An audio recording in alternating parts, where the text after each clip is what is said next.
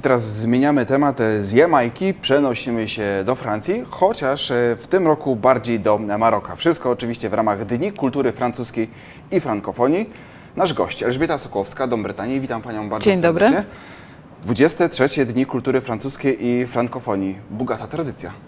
Tak, bogata tradycja, która w ostatnich latach też y, ulega przemianom, ponieważ kiedyś to były tylko Dni Kultury Francuskiej, ale Francja jest krajem bardzo otwartym na inne kultury, bardzo kosmopolitycznym i także promującym kulturę krajów frankofońskich, czyli tych, w których język francuski odgrywa ważną rolę, ale nie tylko promuje przez to język francuski, ale także kulturę tych krajów.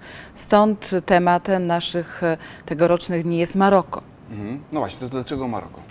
Y, w- Od dwóch lat prezentujemy kulturę krajów Magrebu.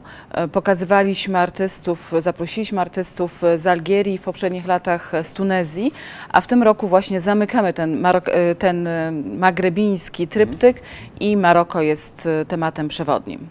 Maroko, kuchnia Maroka, filmy, filmografia, kinematografia właśnie tego państwa. No przede wszystkim kultura, która jest naprawdę prawdziwym tyglem, ponieważ jest to kraj, który ulegał wielu wpływom i wiele wpływów absorbował.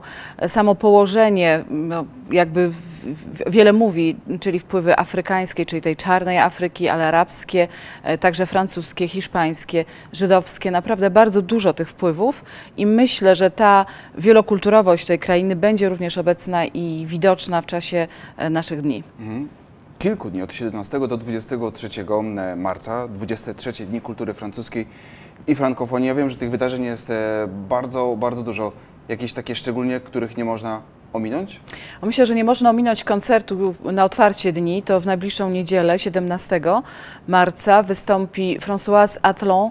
To jest y, we Francji y, artystka uważana za największą znawczynię e, i wspaniałą interpretatorkę y, tradycji spuścizny muzycznej y, Żydów sefa- sefardyjskich. Sama pochodzi z berberyjsko-żydowskiej rodziny.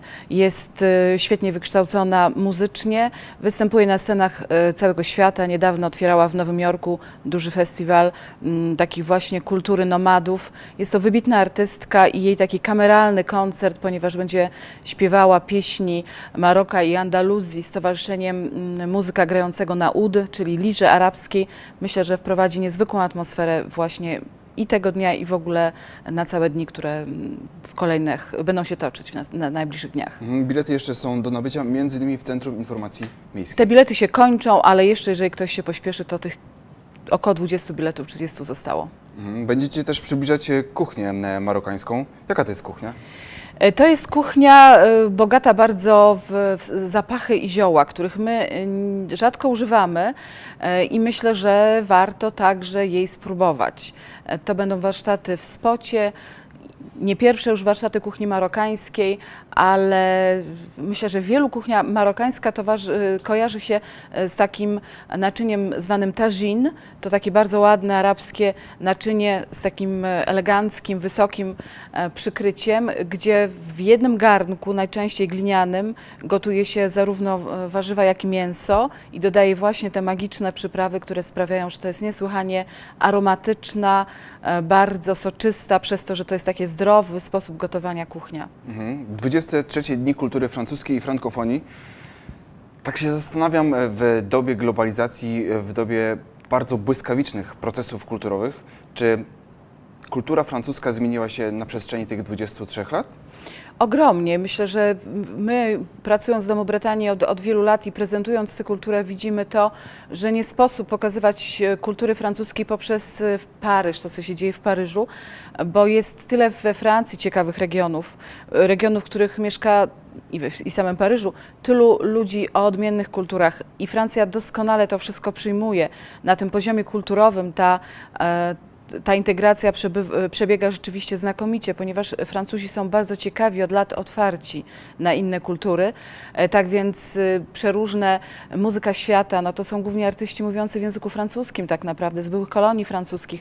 Także Francja od wielu lat e, te kultury obce y, absorbuje, prezentuje, promuje i kocha po prostu. Także ci artyści we Francji mają swoją publiczność, mają okazję do e, prezentowania się. Jest to naprawdę szeroka scena. Mhm. A czy z drugiej strony nie pojawiają się takie głosy krytyki, że już z tej takiej czystej kultury francuskiej mało co zostało? Mam co trudno powiedzieć, to jest czysta kultura francuska, prawda? Myślę, że nie ma czegoś takiego, e, bo nie można wracać lat 50. czy 60., nie wiem, do piwnic egzystencjalistów, gdzie śpiewała Juliette Greco, a gdzie potem występował Yves Montand. E, Te czasy się zmieniają i ci ludzie, którzy dzisiejsi artyści wychowują się w innej Francji i już nigdy nic nie wróci do, nie będzie takie samo, to jest naturalne, to się zmienia. A wielu artystów francuskich, e, śpiewających na przykład w języku francuskim, czy, czy grających w języku francuskim, jest, funkcjonuje, ale oni także robią wiele projektów właśnie takich wielokulturowych, bo taka jest Francja po prostu. Trzeba pojechać do Francji, żeby zobaczyć, iloma barwami, językami ten kraj mówi. Mhm. Pani jest frankofilką. Tak, jestem frankofilką. To znaczy, y, jeżeli rozumieć przez to osobę znającą język francuski i kochającą Francję, tak, tak. A skąd się bierze taka miłość do Francji? Wie pan co, nie wiadomo. nie wiadomo skąd się ona bierze.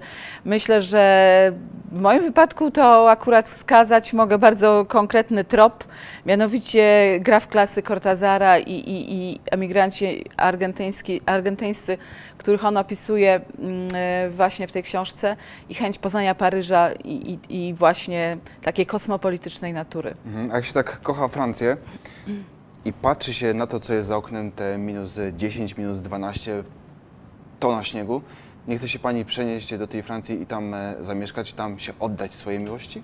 Wie pan co, ja mieszkałam przez trzy lata w Paryżu. Natomiast jeżeli chodzi o pogodę i ten kontrast, to jedno, co mnie teraz martwi, to artystka, która przyjeżdża y, i, i, i jest 17 marca. Ona mm, głównie mieszka w Maroku, y, na południu Francji. Myślę, że dla niej to może być rzeczywiście szok y, taki klimatyczny, dość mocny. To trzymamy kciuki, żeby ta wiosna przyszła nieco szybciej, bo podobno w poniedziałek już plus 6 stopni. Może się uda. Bardzo dziękuję za Dziękuję te informacje. uprzejmie. Elżbieta Sołkowska, Dom Brytanii, była naszym gościem.